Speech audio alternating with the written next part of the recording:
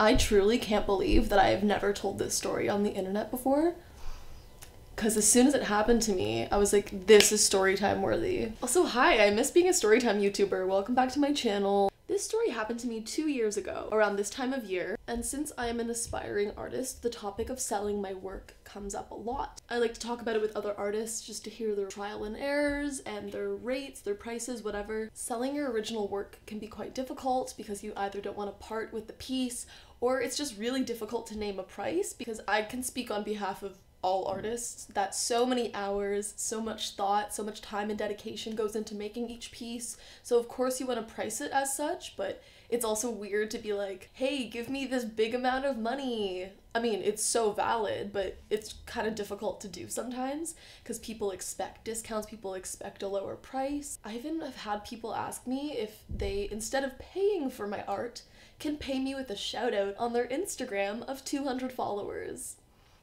Don't ever do that. So, anyways, the topic of selling my work comes up, and I always, more often than not, end up telling this specific story because it's probably the craziest thing that's ever happened to me, and I genuinely can't believe I have not told this before, but I'm so glad that I finally am. So, take a seat, buckle up, get a snack, get a coffee get a glass of wine. Honestly, does anyone else watch those ASMR eating videos um, where people eat those like $700 giant Japanese grapes?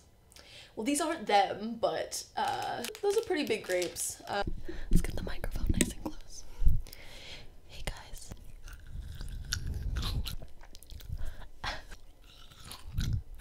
Okay, fuck this. I give up. What? Let's get into the story. So I've been working on and off at this amazing salon in my hometown for about four years now, and this was two winters ago.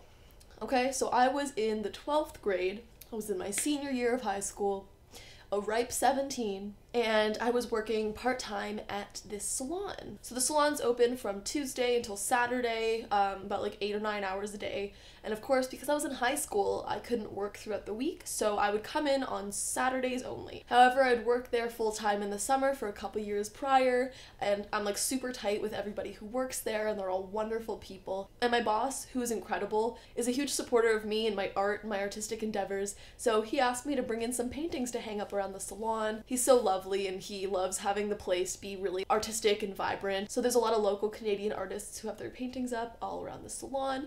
Um, and he asked me to bring in some of my work. I brought in like three or four pieces, I think. And this was one of them. Okay?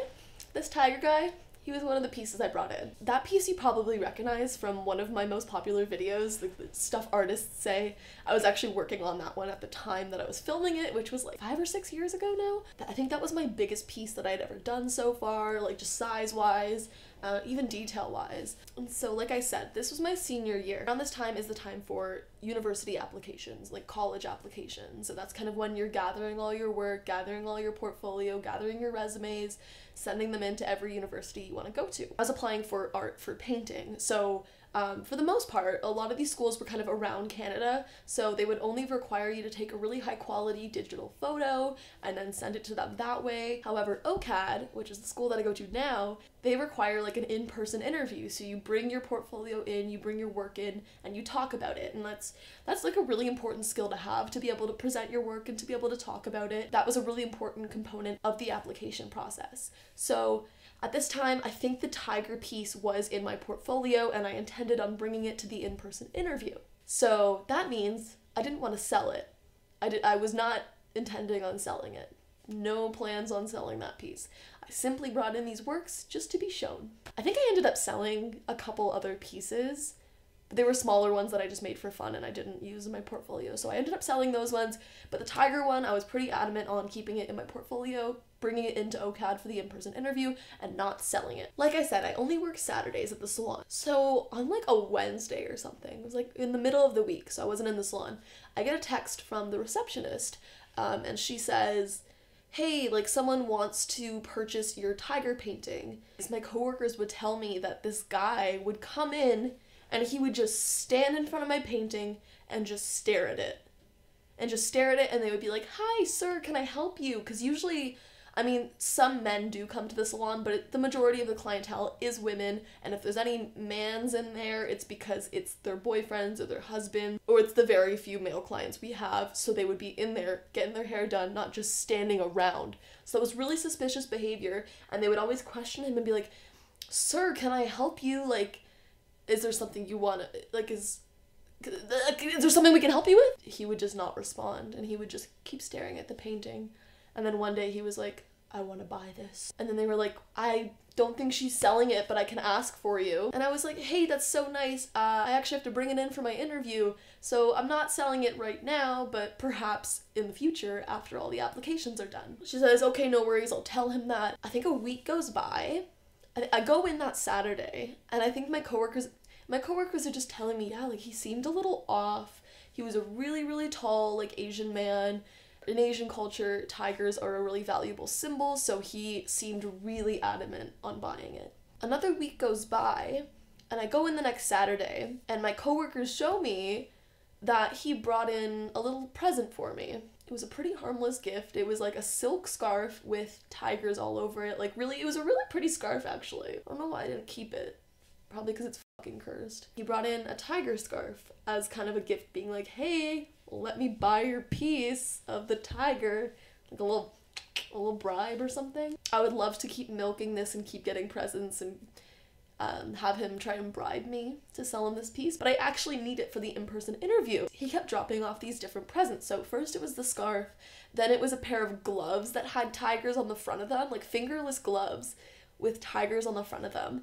And like every time he would drop something off, he'd be like, just tell her to like think about it. Like just just tell her to think about it. And it was like, okay, great. I literally could use the money right now. I have no problem selling you this piece. I just can't at the moment because I need it to get into university. Ugh. Then one week I find out from OCAD that they actually are no longer doing the in person interviews. They decided to cancel the in person interviews. They said you can upload digital files and that's all you need to do. You do not need to come in, you do not need to bring in your work.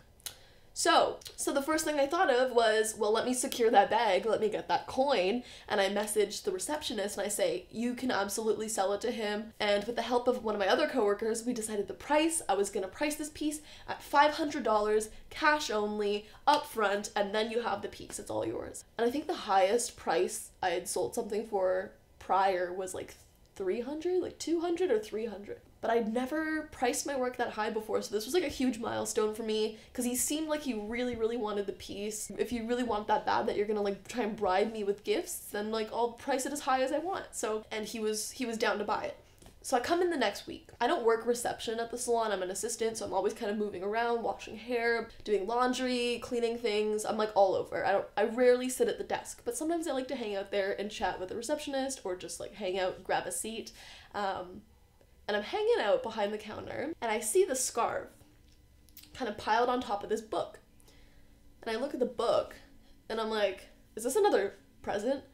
And they're like, yeah, like he brought that in for you too. We just didn't want to show you to like scare you or anything. Because the book is called You Are Dead. the book was titled You Are Dead. Like, could have been a book about tigers too. You could have kept the theme, but you are dead. Am I?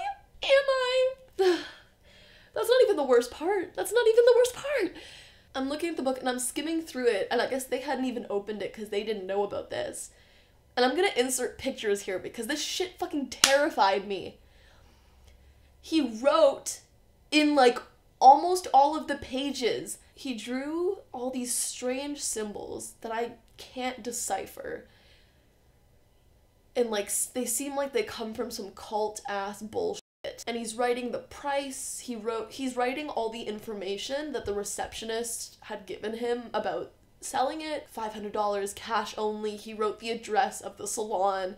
He wrote this made up store like sebastian's beauty salon or sebastian's candy store. It was something really weird and like made up and like it seemed like a deranged little kid had written it but this man is like in his 30s dare i say 40s i don't even know. I, I had never met him up until this point. And that's another thing. That's another that's a whole that's another thing I had never met this guy. Never seen him in person. My paintings at the salon did not have a little artist note underneath it. It did not have a card. It didn't say my name anywhere on the on the work. Didn't say my name anywhere. The receptionist didn't even tell him my first name. Didn't even bring it up. Didn't even say my name. She swears on her life, and I I literally went around and I asked every single person in the salon, "Did you tell him my name? Even my first name?" They didn't tell him anything about me except I was the artist who painted the tiger. Like that was I was just known as the painter or the artist. They never disclosed my name. And in this book, many times he writes my full ass name.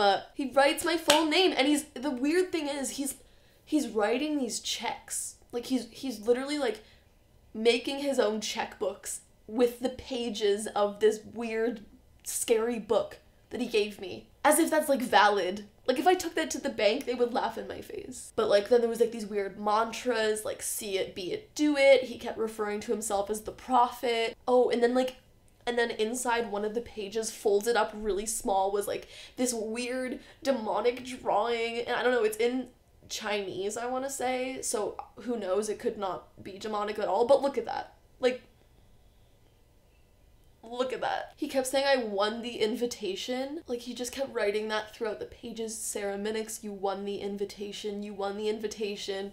And he kept referring to himself as the mayor and the president in charge. My coworkers didn't even want to show me the book because they thought I would be scared. And they they didn't even know about the pages inside. They just knew that I got a book titled You Are Dead and they thought that was terrifying, terrifying enough that they didn't even want to show me.